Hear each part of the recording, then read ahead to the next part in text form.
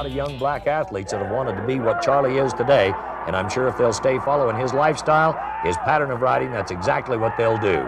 This is Skoal's Outlaw Willie. This is the Bucking Bull of the Year in 1992. Kansas City is the place. Charlie Sampson is the main man in tune. For those of you who travel on the rodeo circuit, the name Charles Sampson is very near and dear to all your hearts. And you know what? He's joining us here today at the Payson Rodeo. How you doing, Charles? Very good, Miss Lisa. How's it going? It's going great. Thank you. I have to ask you because you are so amazing at what you have done with your life and your career. How does a guy like you come from Watts, California, and then end up in the Rocky Mountains of Colorado, and then become a world champion bull rider? Well, you know, like you said, how you end up in the mountains got to work your way up one rock, one hill. Eventually, you get to the top. When you started bull riding, how old were you? I got on my first bull when I was right around 15 years old. And did you ride when you were still in Watts? Yeah, I, I, I started out riding steers around 11, 12, 14 years old, and I rode horses and I rode the ponies and I roped the steers. Gradually, uh, got on my bull, and and uh, next thing you know, it just became the first love of my life.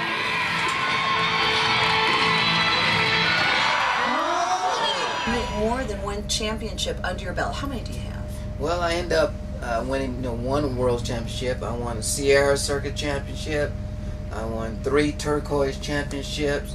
Let's talk about the safety equipment. How has it changed over the years from when you were riding to today? Well, us bull riders had to come up with some type of a safety, you know, protection to help us because, you know, we're just hurting ourselves even worse where when we hurt and sore, we can't compete.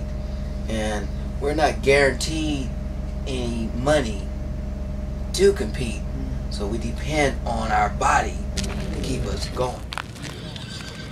You're retired now. How are you spending your time? What are you doing with your days?